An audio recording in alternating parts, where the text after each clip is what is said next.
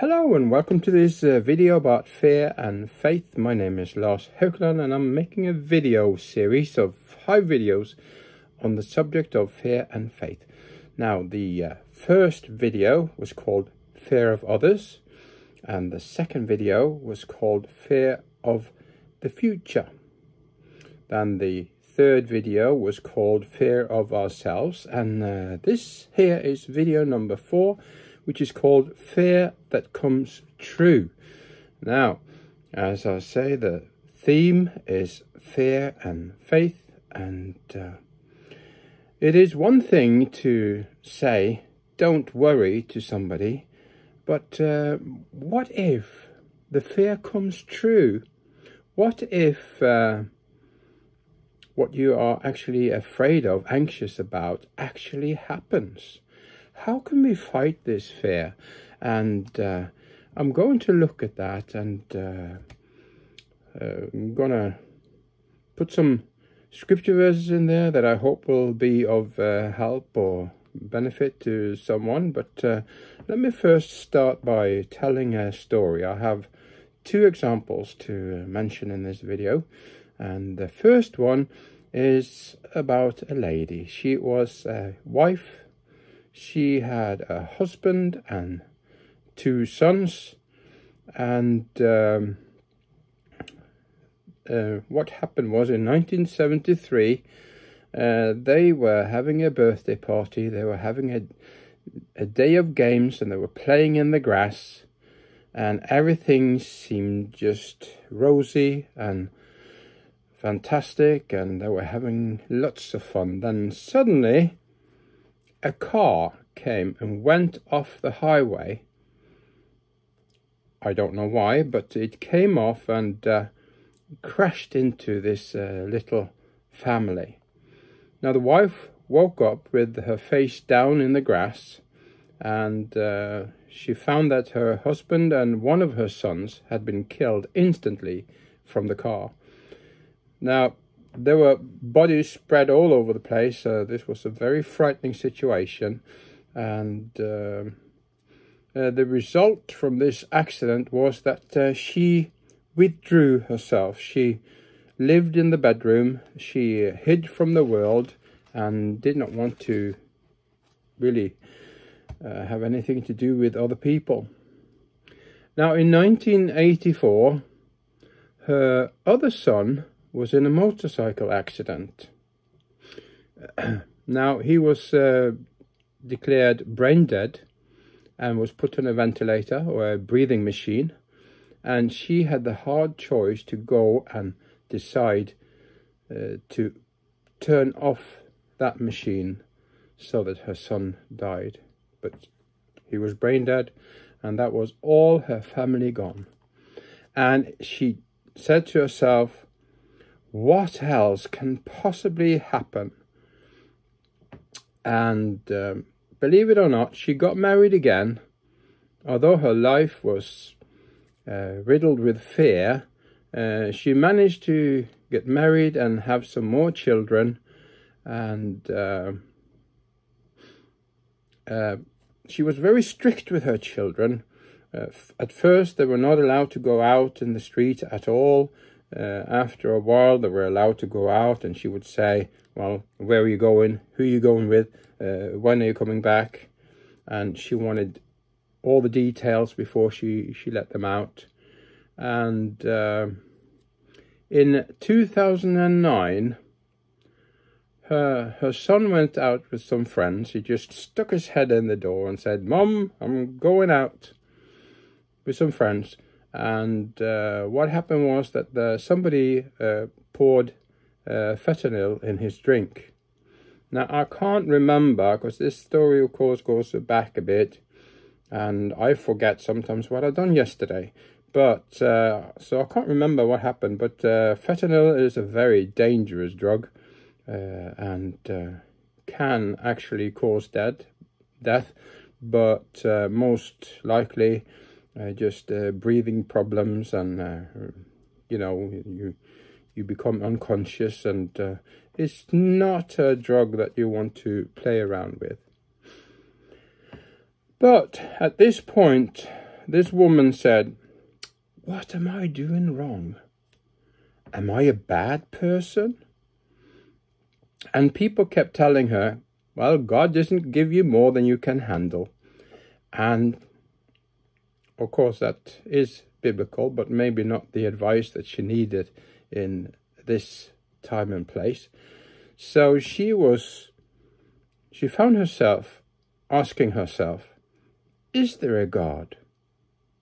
And doubt kind of overwhelmed her. Well, the world is ruined because of sin. And unfortunately, tragedies like these happen. And it's hard for us to explain it. We're not able to explain it. And sometimes it's tempting for us to say, is God still God? Dark things happen in life, and God knows that uh, we mourn and grieve. He, he knows what we're going through. Now I'm going to turn to the Bible. I'm going to go to Psalm 121, and I'm going to read verse 1 and 2. That's it says, I will lift up mine eyes unto the hills, from whence cometh my help. My help cometh from the Lord, which made heaven and earth. Uh, God doesn't promise to remove our worries and our difficulties, but He does promise us joy if we're close to Him. Now, joy comes from a deep trust in God. Joy comes from resting in Him uh, who is our Father and our Protector. He is the one that sustains our lives. He gives us every breath that we take. And sometimes we we got it all wrong. We think that uh, he owes us something, but it's we that owe him something. But let's turn to Matthew and chapter 11 then. Matthew chapter 11. And I will read what Jesus said in uh, verse 28 through 30. Now, you might know these verses by heart, uh, or at least you have definitely heard them, but let me read them anyway. Come unto me, all ye that labour and are heavy laden, and I will give you rest. Take my yoke upon you, and learn of me, for I am meek and lowly in heart, and we and ye shall find rest unto your souls. For my yoke is easy and my burden is light sometimes I realize that it doesn't feel like that, but uh, he says that we should come to him without worries. We have a Savior who understands our sufferings, and it says so in Hebrews chapter 4 and verse 16. In Hebrews 4.16, uh, it says, Let us therefore come boldly unto the throne of grace, that we may obtain mercy and find grace in, to help in time of need.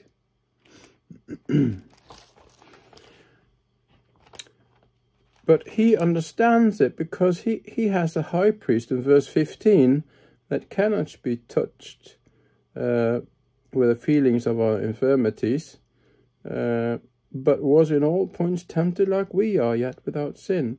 And as you read in Hebrews, you see that uh, Jesus was tempted and says that uh, he understands when we go through temptations. Now, back in Matthew in chapter 26, I will read verse 39. Verse 39 is talking about Jesus when he was in the garden praying in Gethsemane uh, before his uh, capture and uh, then his crucifixion. He went a little further and fell on his face and prayed, saying, O my Father, if it be possible, let this cup pass from me. Nevertheless, not as I will, but as thou wilt. So, Jesus, in a sense, asked for the Father to remove his sufferings. But then, uh, you know, he, he added, uh, you know, not, not what I want, but what you want, Lord. And that is really what we need to say as well. And it's a long way to get to that place because uh, often we are very concerned about ourselves. Now, Jesus, he went willingly to the cross and uh, he suffered for us. Now, he, he knew that his sufferings had a purpose. His suffering made sinners free. His suffering provided salvation.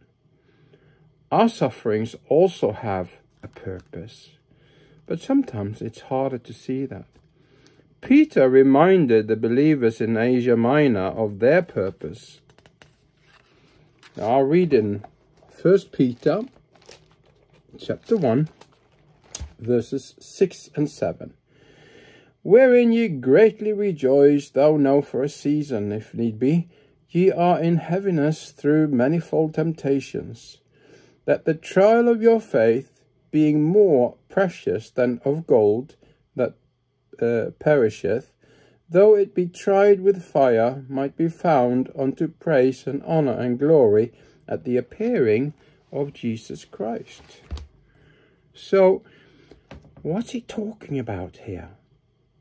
It, it, all our sufferings are trials of our faith. This faith comes from God, not uh, from us. This is the reason that we can mourn and rejoice at the same time. Imagine that. God, in His mercy, gives us faith that His promises will sustain me. Do you think that uh, God will help you through your sufferings? It's an important question. He is strong enough uh, for our fear of the future. He's strong enough for the depression that you don't want anyone else to know about. He is strong enough for the sins that you hate uh, but still commit. He's strong enough for all of this. He's all powerful. He has faith and mercy for you and for me. We can rejoice in our suffering because we know that we are we have a living hope. We have an eternal glory to look forward to. We look forward to the resurrection of the dead and always being with Jesus. Imagine that your dear ones that you have lost along the way. If they're saved and you're saved, you'll meet again in heaven. The trials give us hope in Christ. Now, the um, letter to the Romans, Romans chapter 8, is a very big and rich chapter that uh, could be studied for ever and ever. But let me read first uh, verse uh, 38 and 39.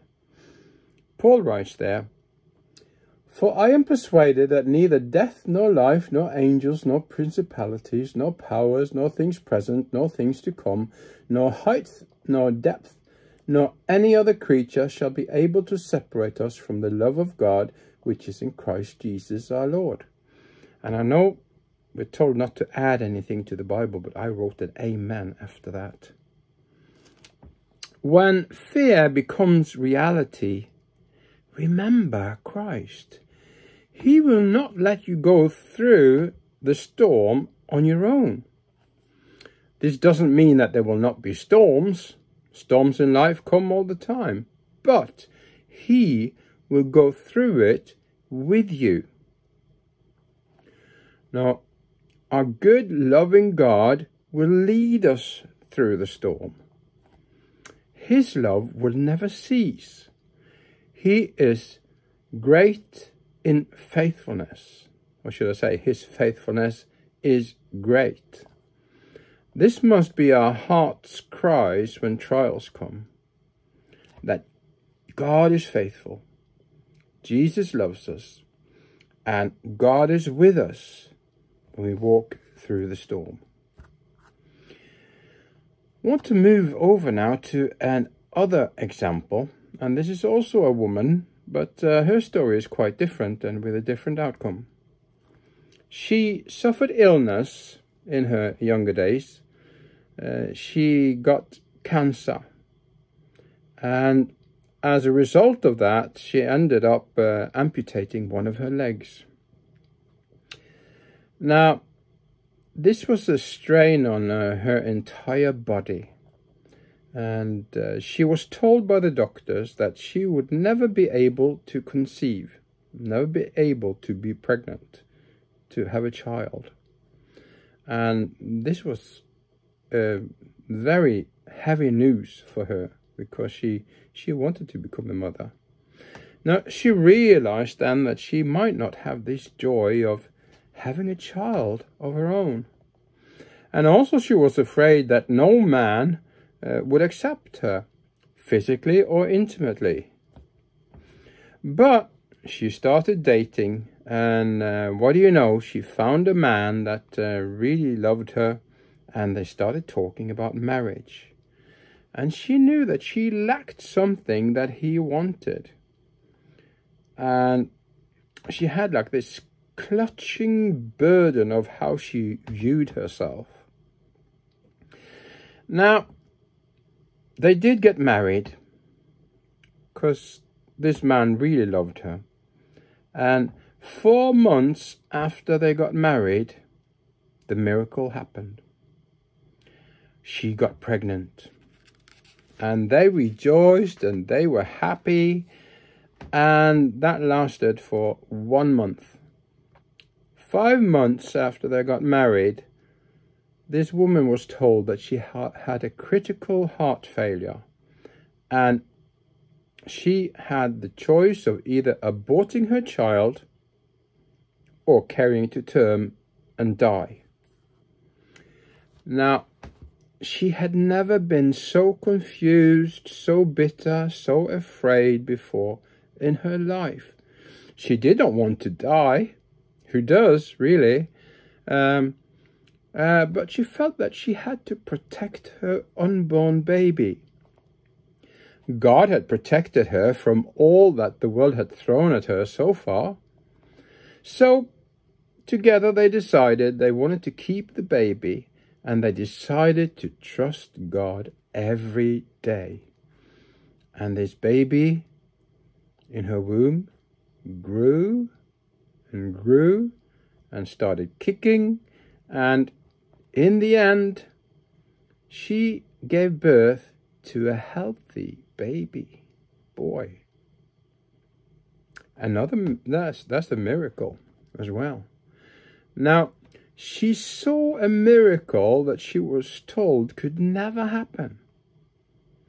And she was ecstatic.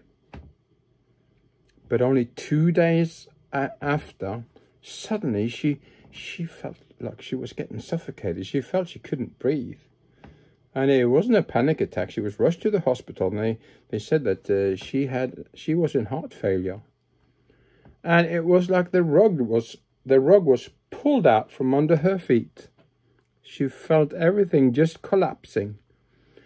And she prayed and her husband prayed and they the the church she went to prayed and you know what, what the result was? The result was that the heart failure disappeared. The doctor said the heart mended itself and we don't know how or why.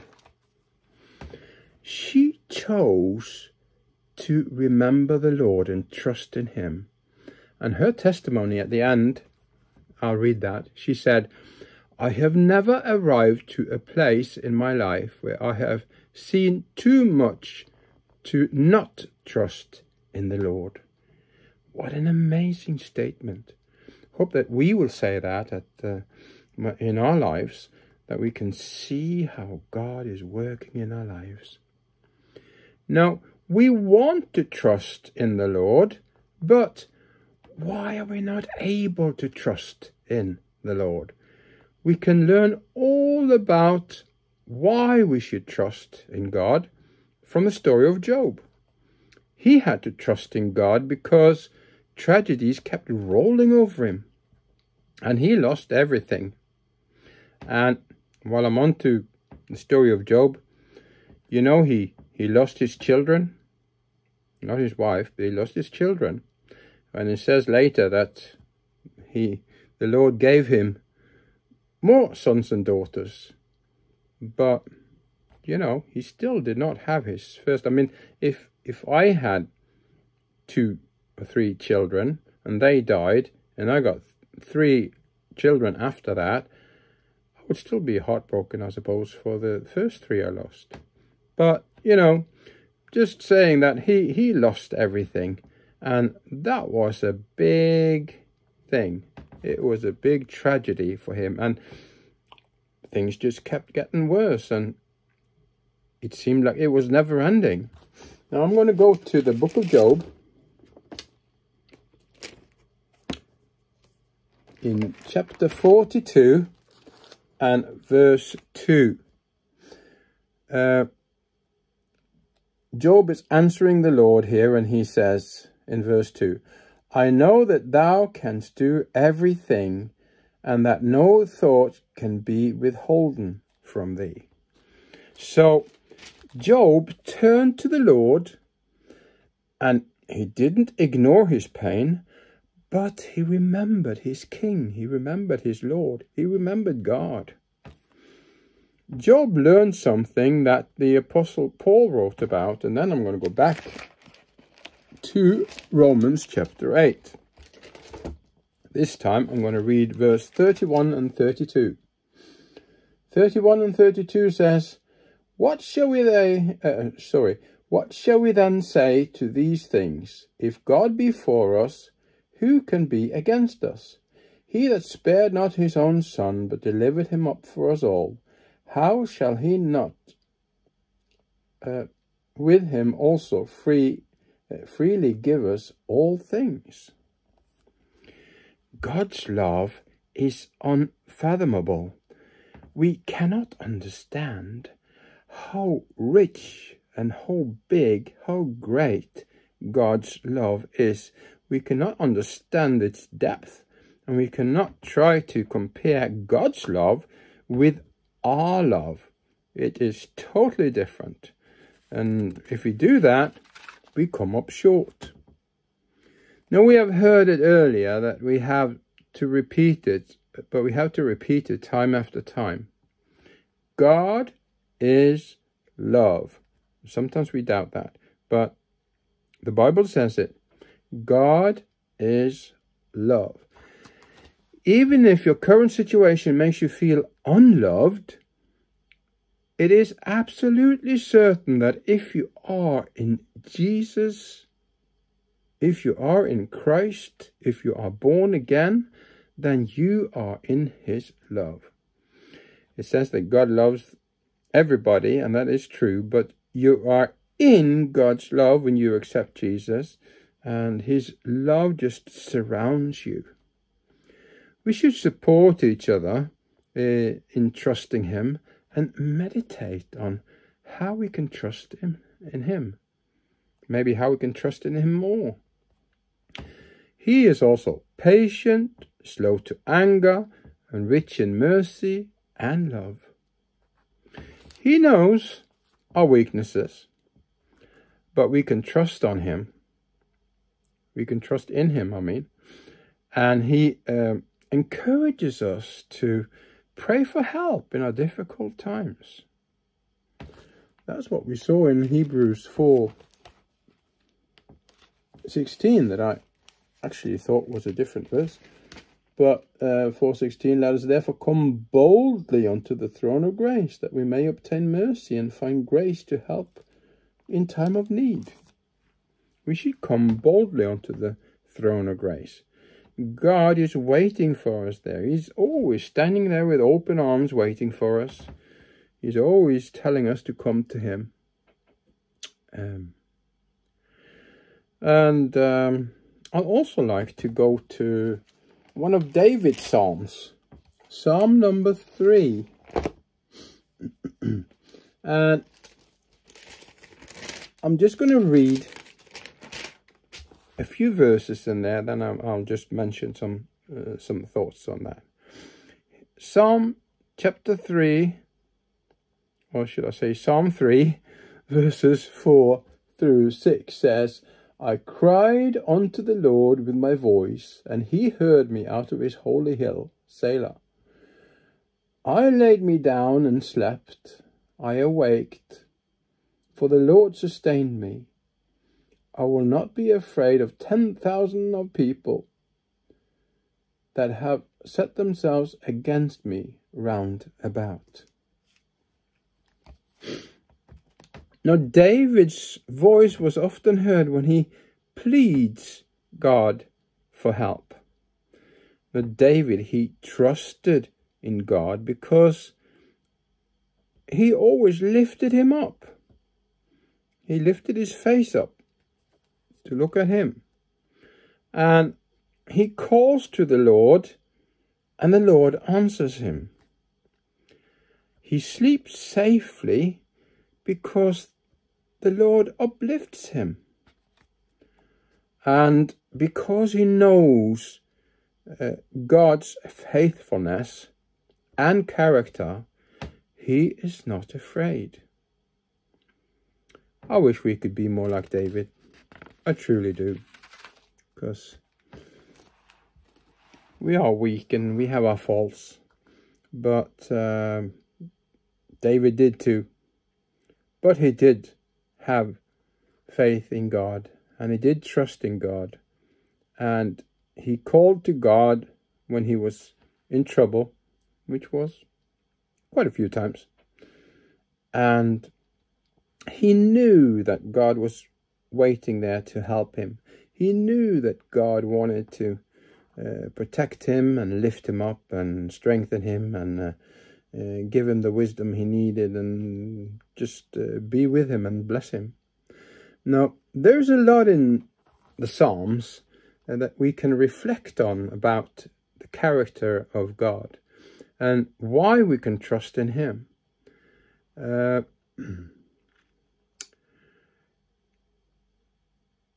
it's not um, it's not a single trial where we cannot look back and see God's faithfulness. God has been faithful in my life, and I'm sure that He's been faithful in yours. Things happen, but God doesn't desert us. He's always there for us, and He's available for us unless we turn our back to Him. Now, we should also remember how God has been faithful to us. He has never let us down. It is impossible for Him to let us down. We can trust God because He is God. It's as simple as that. God is God. We can also trust in God because He is faithful his faithfulness has shown that he is faithful. If anyone is not faithful, then it's us. Do you lie on your bed worrying about a particular circumstance or situation? What keeps you awake at night? Ask yourself this question. So, do you trust God? And if you don't trust God, ask, can you trust him? That is a big question. Can you trust in God? Now remember all the times God has been faithful to you. Because he is faithful.